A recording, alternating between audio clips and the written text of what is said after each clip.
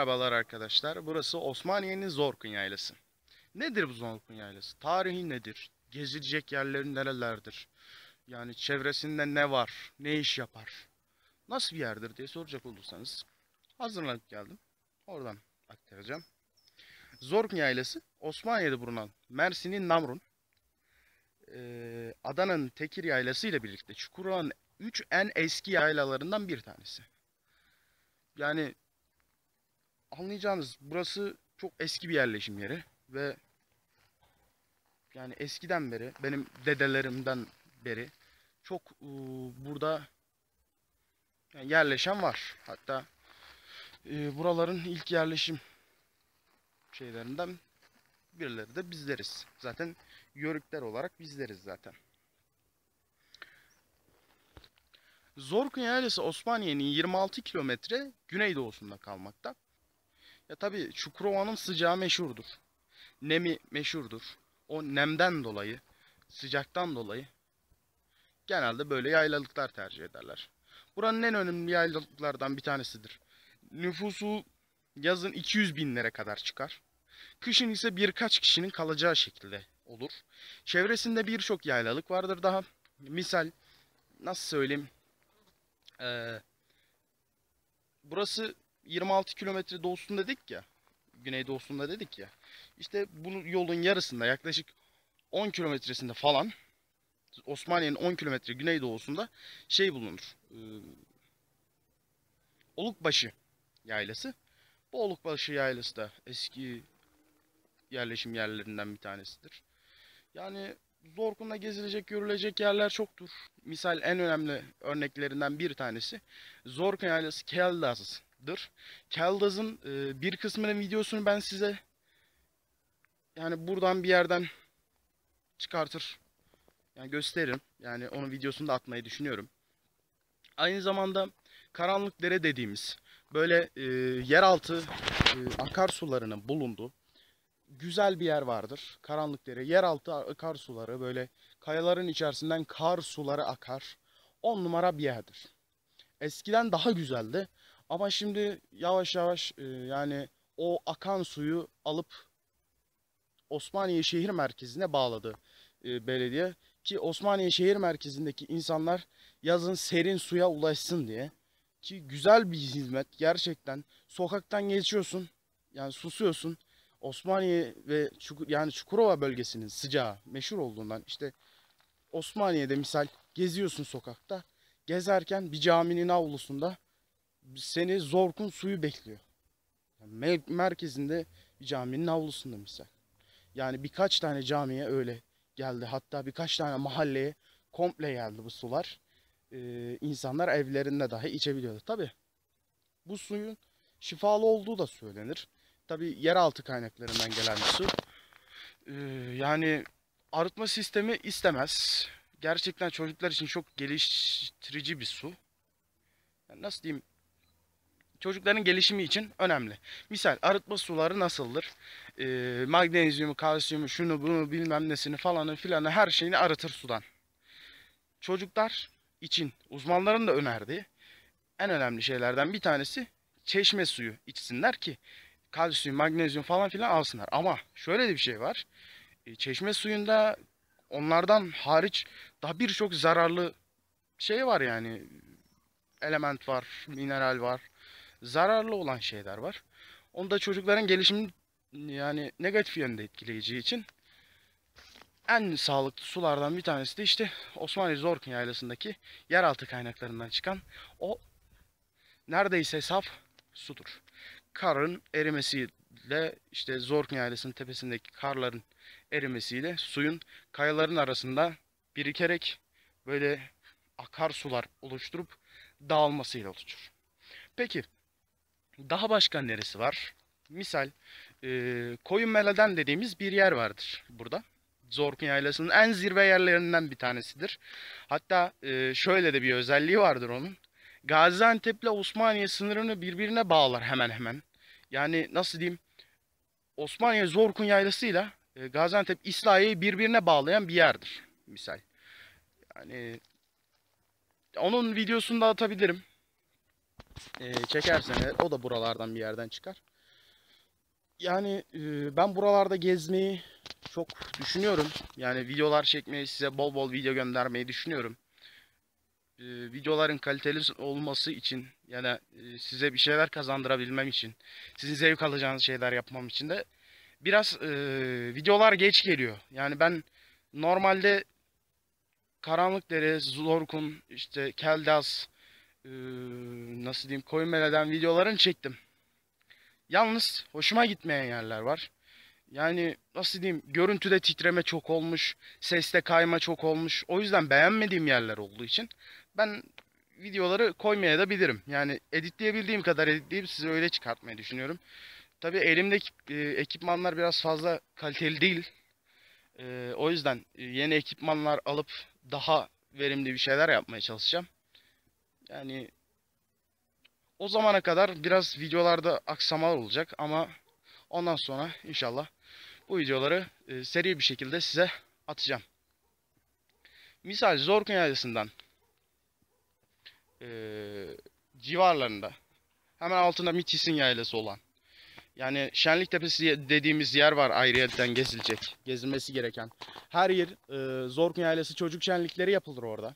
Zorkun Yaylası çocuk şenlikleri geleneksel olarak her yıl devam ederdi. Çocuklar eğlendirir, palyaçolar gelir, işte parklar kurulur, Luna Park'a benzer parklar kurulur falan filan.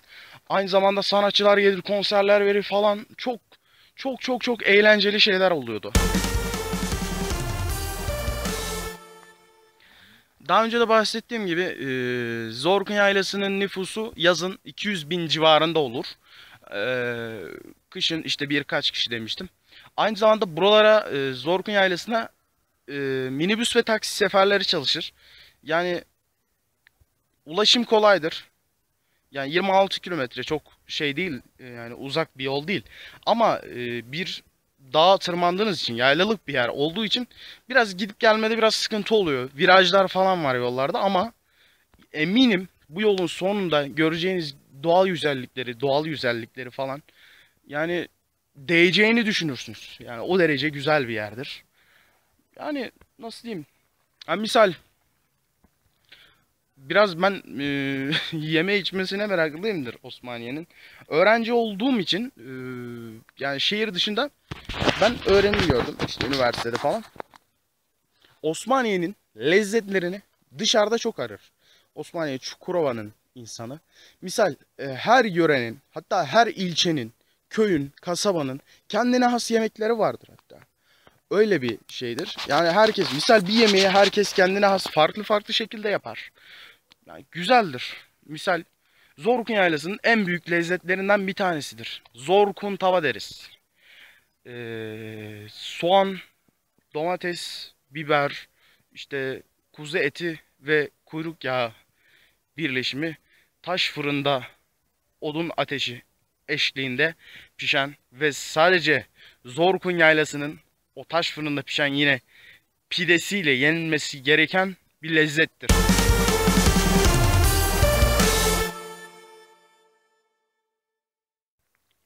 Yani ayrıca Zorkun Yaylası'nda e, konaklama desek şöyle bir özelliği var konaklamanın.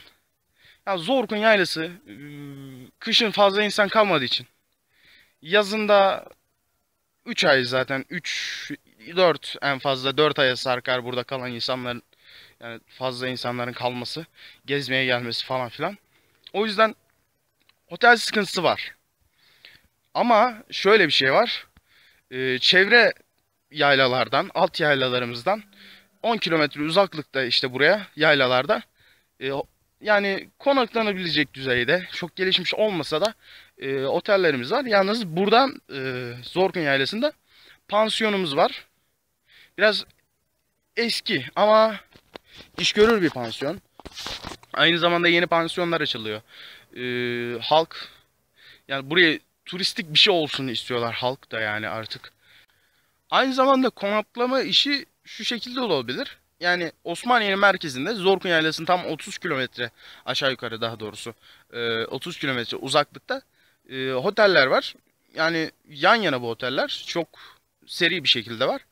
O otellerde kalıp da e, buraya gelmesi daha yani kısa sürdüğü için yaklaşık yani yarım saatte falan Zorkun Yaylası'na rahatlıkla çıkabilirsiniz. İşte o yüzden eee, oradaki otellerde konaklamanız da yani sizin avantajınıza olur. Yani hem lüks olsun hem de buraları gezeyim istiyorsanız o şekilde yapabilirsiniz. Aynı zamanda Zorkun Yaylası'nda Şenlik Tepesi var demiştim. Bu Zorkun Yaylası'ndaki Şenlik Tepesi şöyle bir özelliği var. Ee, özellikle havanın açık olduğu bugünkü gibi günlerde yani Osmaniye'yi yani Osmaniye'deki evleri net olarak görebilirsiniz. Hatta Osmaniye'nin merkezinde bir tane Türk bayrağı vardır dev. O Türk bayrağını buradan rahatlıkla görebiliyorsunuz. Gerçekten e, ya, yani Osmaniye merkezi 30 kilometre falan uzaklıkta olmasına rağmen oradan gözüküle, gözükebiliyor. Hem hava nemli, hava nemli olduğu için bazı günler e, bu Zorkun Yaylası sisli oluyor üstü. Yani gözükmüyor bazen o kısım. Ama havanın açık olduğu günlerde özellikle e, Po- Poyraz'ın estiği günlerde geldiğinizde bakarsınız oranın ne kadar net gözüktüğünü görürsünüz. Geceleri de e, Şenlik Tepesi'nden Osmaniye'nin merkezindeki o ışıklar gözüküyor. Osmaniye'nin alt yaylalarından bir tanesi olan e, yani yolunun yaralarında bir yerde olan yaylalık vardır. O da e, Olukbaşı'dır. Olukbaşı yaylasından ve Olukbaşı'nın alt yaylalarından işte Haymalı değil ya. Ayvalı mı? Hay öyle bir yaylalık daha var. O yaylalıktan da e, virajlarından falan Osmaniye'nin görüntüsünü, manzarasını falan görebilirsiniz. Yani manzara görmek isteyenler için hatta bu bu yıl belediye o alt virajlardan bir tanesini e, iptal edip oradan düz bir yol çıkartıp çamların arasından düz bir yol çıkartıp yani orayı seyir tepesi yapacak ve Zorkun Yaylası'nı rahatlıkla o Osmaniye'yi rahatlıkla izleyebileceğimiz şekilde bir şey çıkartmaya çalışmışlar. Gerçekten onu da ilerleyen zamanlarda e, yapıldıktan sonra tam olarak bittikten sonra gösteririm. Tabii bu bölgede e, arıcılık da biraz yoğundur, yaygındır. E, daha doğrusu daha öncelerde daha yaygındı da şu anda biraz az. Şöyle bir özelliği vardır burasının. E, sarı kantaron otu burada bol miktarda çıkar. Aynı zamanda e, bizim buranın halkı daz çiçeği der. Mantuar da derler. Yani asıl ismi mantuar olarak aklımda da altın otu diye bir de bir arkadaşım bilgi verdi. Altın otu da diyorlar diye. Yani tam olarak ne olduğunu ismini bilmiyorum ama buranın halkı e, daz çiçeği der. O çiçek gerçekten e, çayları yapılır, içilir falan. Gerçekten çok yarayışlı olduğu bilinir. Yani bal, arıların da e, ballarını bunların polenlerinden falan çıkartması gerçekten çok şifalı balların meydana gelmesinde sağlıyor. Bence bu da iyi bir şey. Arkadaşlar videomu beğendiyseniz beğen butonuna tıklayın. Beğenmediyseniz yorum atın. Şunları şu şekilde böyle yapın falan filan şeklinde yorumlar atın. Aynı zamanda e, kanalıma abone olmayı unutmayın. Çünkü sizler için daha çok çalışıp e, yani değişik projeler üretiyoruz. Yani nasıl diyeyim değişik tarzda videolar. Yani sadece vlogla bırakmayı düşünmüyorum ben bu işi. Birkaç tane daha ek kanal açıp e, onları kendi sayfamda size tanıtıp hatta e, daha önce bu videoyu yayınlamadan önce açarsam kanalı çünkü hızlı bir şekilde açmayı düşünüyorum. Buralardan falan o kanalın ismini falan da görebilirsiniz ya da aşağıya açıklama bölümüne de linkini koymuş olabilirim. O şekilde yani bizi takipte kalın. Güzel şeyler çıkartmaya çalışıyoruz. Elimizden gelenin en iyisini yapmayı yani hedefimiz o. Ama ekipman sıkıntımız var biraz. Onu halledeceğiz. Yani yakın zamanda ekipman sıkıntısı halloluyor ve videolar ardı ardı arkası kesilmeden gelecek. Hoşça kalın, esen kalın diyorum. Reha Muhtar gibi de kap